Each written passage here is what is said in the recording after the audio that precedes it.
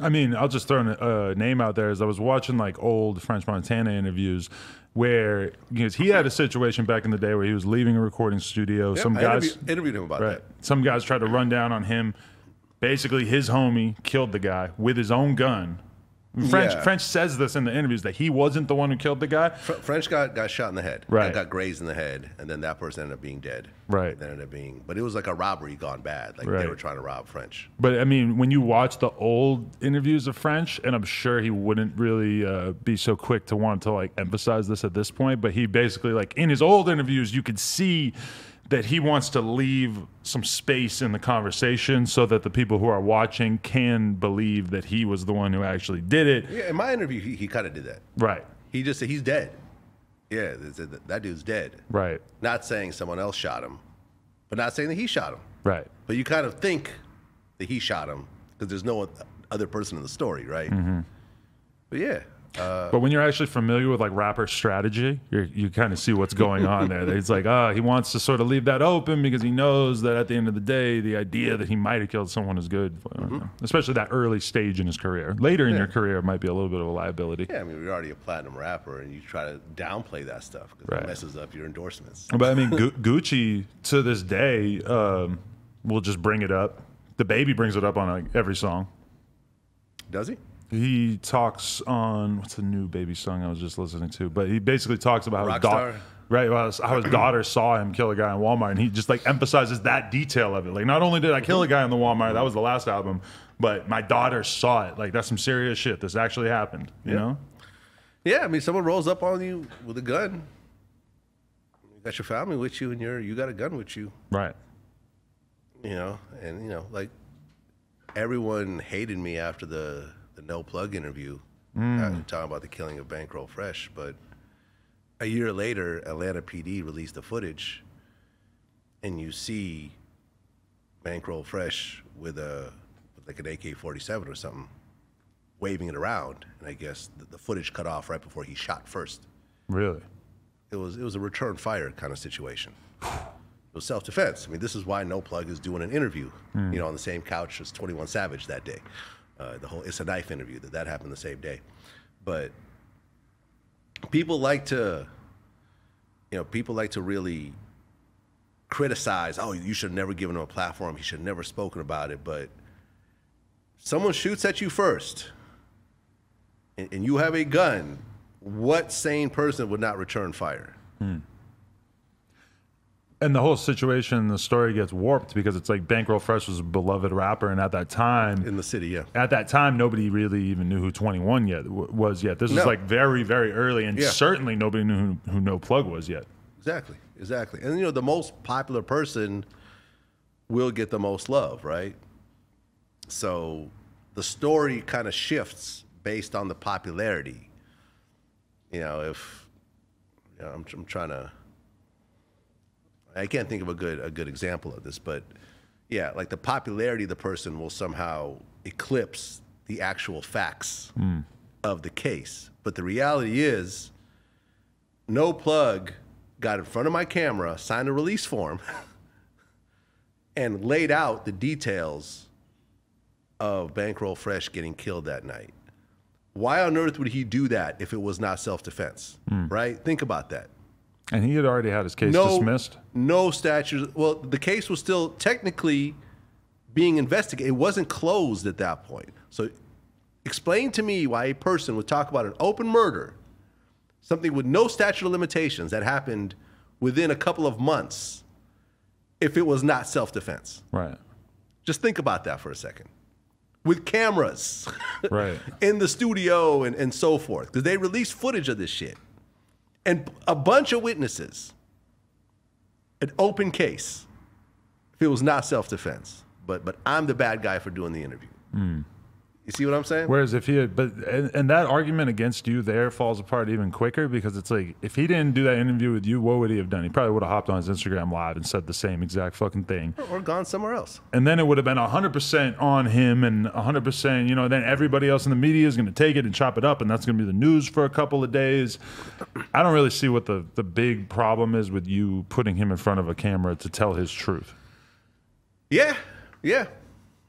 Listen, I'll, I'll be the bad guy sometimes. I, I'll, I'll take the brunt of it. Uh, I've, I've been doing this for 12 years. It's not going to, the same philosophy that I came into it with, the same philosophy that I have these days, it's not going to change. We're still going to be the, the hard edged, tough question, you know, get to the truth, heavy research platform.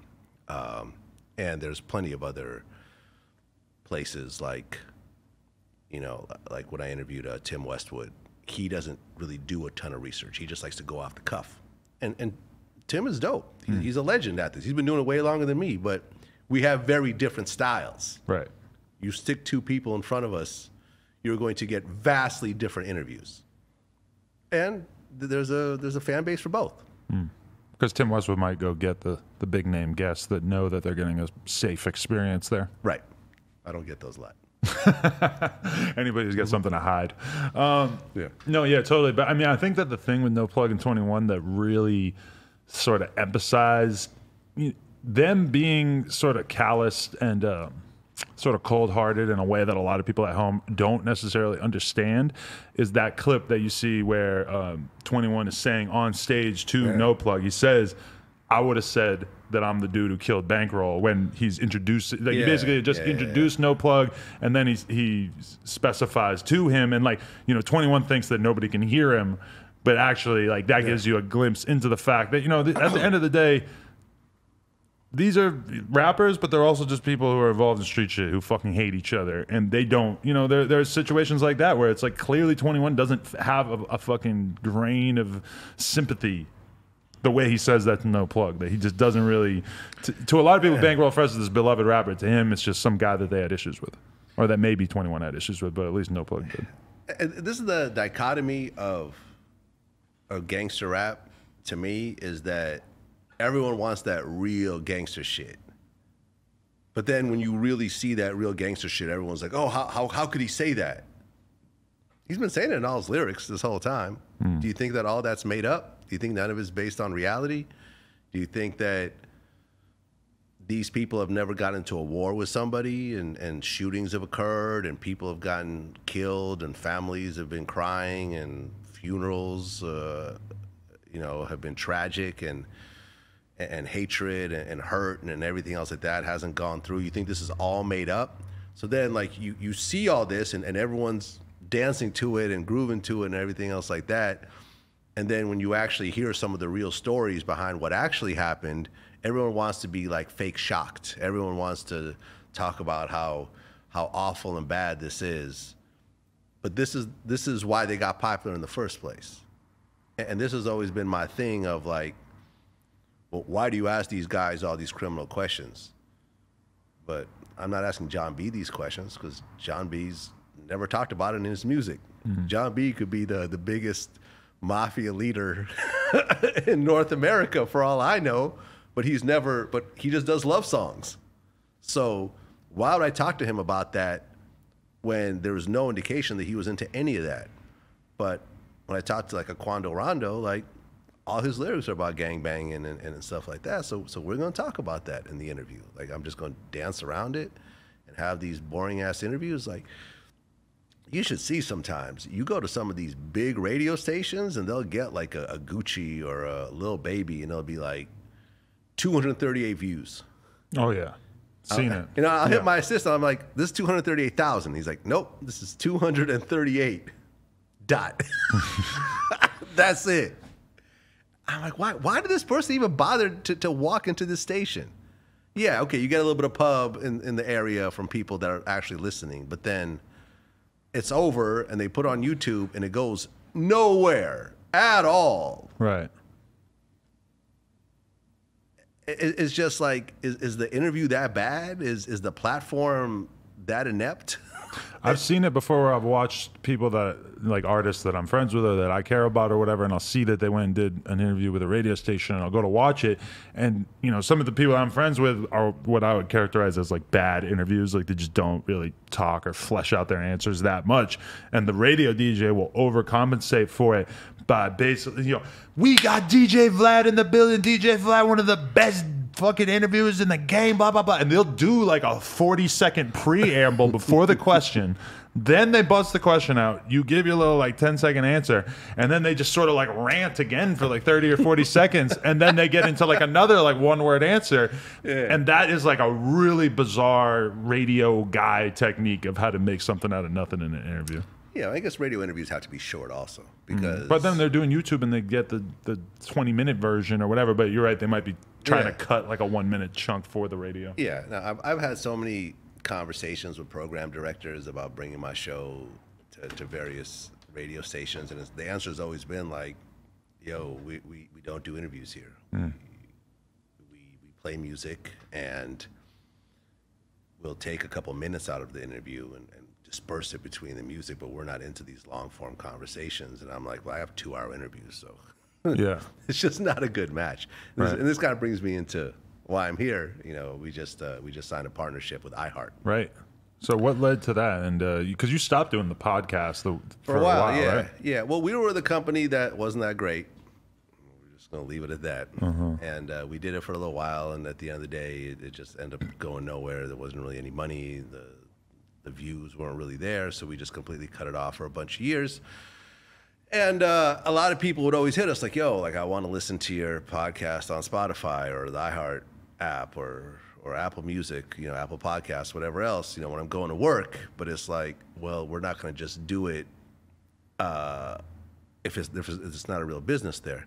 So uh, when we linked up with iHeart, uh, they really understood the uh, the significance of what we do, and they really didn't just give us like, okay, yeah, we'll just co-sign you. They're like, okay, we're gonna put a significant amount of money into the marketing of it. Hmm. We're really going to give you something called the best in class deal, and we have a whole team at iHeart behind this thing. And it seemed like, okay, well now we have a company that's going to invest in the promotion and the overall platform of audio streaming is much bigger than it was before. Because hmm. Spotify was very small back then. Five years ago, it seemed like so much less It was of a- SoundCloud a, real business. Yeah. it was kind of like SoundCloud and some other crap. And this new ad network I've been talking to just told me they're like, well, we would kind of like you to stop uploading to SoundCloud because those plays don't count as like verified Yeah. listens from the uh, from the advertisers or whatever. Yeah. So if we could just basically move those viewers over to Apple Music or whatever, it would be beneficial. Yeah, so it just seemed like a cool situation, and uh, we were talking to another company that the, their marketing budget was like a small percentage of what of what iHeart was going to do. Like iHeart really stepped in, and and I've had talks with Spotify and stuff like that in the past, and there was deals that was supposed to happen that didn't come through, uh, but when iHeart came in, it was like, okay, this is for the first time we have a company that's going to put a big push behind what it is that we do, as opposed to us just building it up on our own organically, which is what we've always done. And uh, and it allows people to start listening to our stuff on on streaming uh, platforms. And we were actually going to launch. There's this really big interview that we have that we're we're supposed to launch the podcast with, but the climate of, of the world right now was like, okay, we got to put this aside, push it back, you know, at least a you know a couple of months maybe. But so this content is completely different than what you do with live TV with the video No, no, or? no. It's the, it's the same. It's the audio version of our interviews. Oh, okay. You know, but we are going to have situations where we're going to premiere, you know, the full interview sometimes on the podcast and stuff like that. We're still kind of learning. You know, people were like, you know, my staff was all excited, like, "Oh, we got a podcast still." And I was like, "Slow down. These things take time." A- As someone that's built a business over 12 years, you really don't get excited because it's ultimately based on you to build up that audience. Right. You could have help, you could have assistance, you could have marketing and so forth, but you have to build up that audience week by week, upload by upload.